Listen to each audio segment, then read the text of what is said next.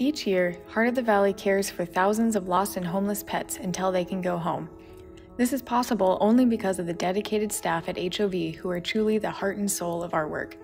Staff work tirelessly on behalf of pets and the people who love them. They start each day by ensuring that dogs and cats have a clean and comfortable space, fresh food and water, and of course, lots of love and hugs. Throughout the day, there's lots of cleaning and then some more cleaning, more cuddling, some playtime, introducing pets to their potential new family, veterinary care, vaccinations, adoption preparation. The work is both physically and emotionally difficult, but that doesn't dampen the spirits or the commitment of the employees at Heart of the Valley. It is vital, I think, that every human does something that spiritually satiates them, and that is what this job does for me. It's really important to feel like I'm giving back to the community of Bozeman. It's Bozeman's been a part of my culture since college. And it's really wonderful to be able to give back to the community members and community animals, which is um, a gift that I'm really grateful to have. I work part time in the vet clinic, and um, normally in life I like to fix things, especially and do things with my hands. And um, being able to uh, help out an animal that's um, had a rough hand dealt to it um, when it comes in, whether that's an injury or allergies or a sickness or something, and being able to um, get that animal back to a healthy state uh, where they can be um, happy and live a normal life um, would probably be my favorite part of the job. We put a lot of of effort and just love into them and it's just such a joy when we get to see them come full circle and eventually find their homes. They take incredible pride in their work. They aren't satisfied with the status quo, but instead are always looking for ways to improve the services we provide.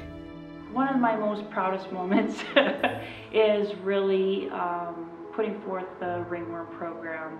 We implemented that program. I'm very, very proud of it.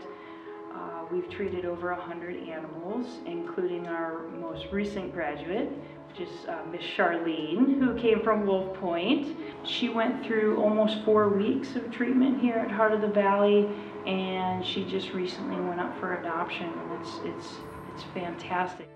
They not only work at HOV, they are also adopters. First time I met Daffodil, I had walked into one of the dog rooms, Dog Second Adopt, and I just saw this fluffy girl shaking in the corner. So I knew that I wanted to work with her and see if I couldn't get her to come out of her shell a little bit. And I don't think I don't think I knew just how deeply you could communicate with your with your animal, with your pets, simply by listening with you know your eyes instead of your ears. And it's a really cool it's a really cool relationship. They care for each and every pet at the shelter as if it was their own. But at the end of the day, nothing makes them happier than to see a pet go home.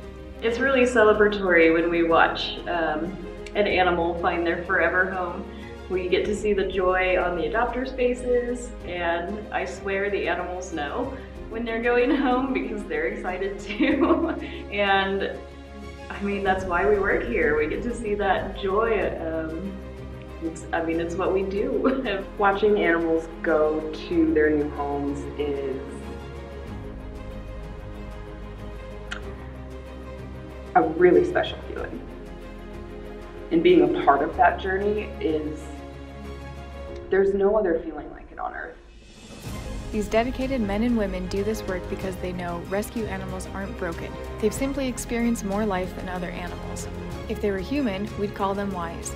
They'd be the ones with the tales to tell and the stories to write, the ones dealt a bad hand who responded with courage.